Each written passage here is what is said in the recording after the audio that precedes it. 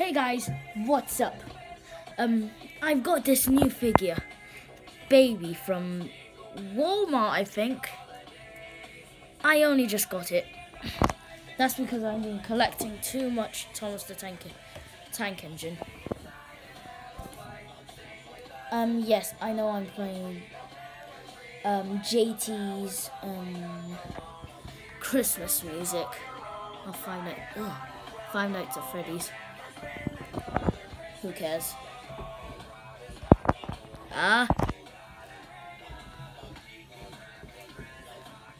Um, unfortunately, if they forgot to put the microphone in, so that's why I don't have it.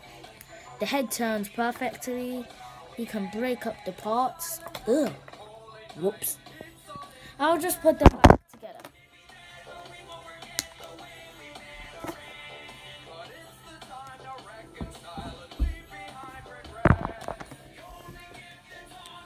That's pretty cool. Um, the head turns. It's like I'm gonna collect some more FNAF figures in the future, guys. So don't be disappointed. So articulation is okay.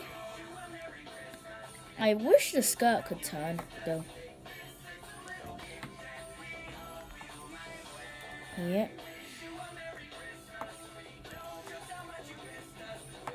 Um, so I'm kind of getting distracted off the music.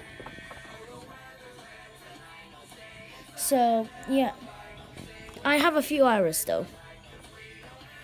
Um, there's a splotch of paint on the back of it. The eyes are a tiny, teeny tiny bit wonky. I'm very picky. It's got a purple splotch there. Then, yeah, that's all the reports I have to do. I'll compare it in size of, you know, one of these Funko minis, whatever.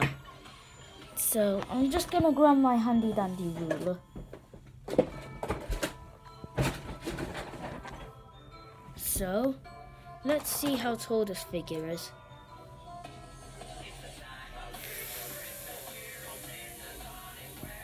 Four and a half inches. Let's see how tall this thing is. Two inches. So yeah. Yeah. About the size. So yeah. There's my baby action figure review. I really suggest you buy this. It's really cool. It's only for ten pounds. But uh, though I probably won't be getting the what do you what I probably won't be getting the glow in the dark new figures that are selling a trend in Tesco. So bye. But guys, I can't do this. The video hasn't ended yet.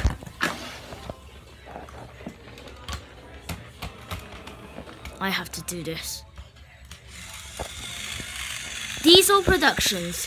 Always trying to making the best productions for you.